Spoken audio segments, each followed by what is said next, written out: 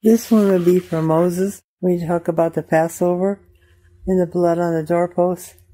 And then you can compare it to Christ dying on the cross by putting the red cross word strip between the blood spots on the door so the kids could see this is a picture of Christ dying on the cross.